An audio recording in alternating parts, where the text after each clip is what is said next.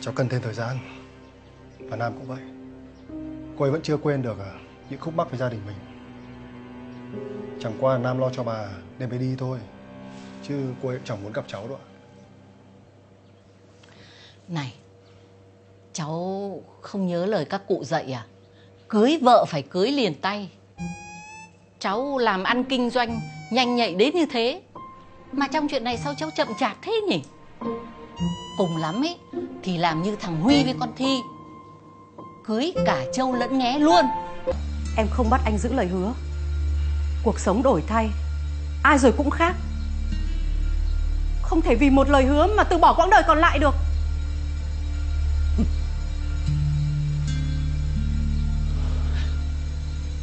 Đúng là lòng dạ đàn bà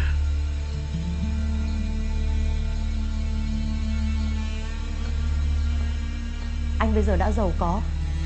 Có điều kiện, có danh phận. Tại sao không lập gia đình đi? Tuổi anh có thể đẻ thêm được cơ mà. Một đứa hay mười đứa cũng được. Tự tay anh có thể chăm sóc chúng nó. Tại sao cứ phải là thằng Dũng? Cho dù em có cố gắng như thế nào Thì cũng chưa bao giờ quên được. Đấy là em chưa chịu mở lòng. Bây giờ ấy Em chỉ cần yêu người khác Là sẽ quên được người cũ ngay. Thật đấy Chị có làm được như chị nói không? Hay là chị vẫn yêu anh Long?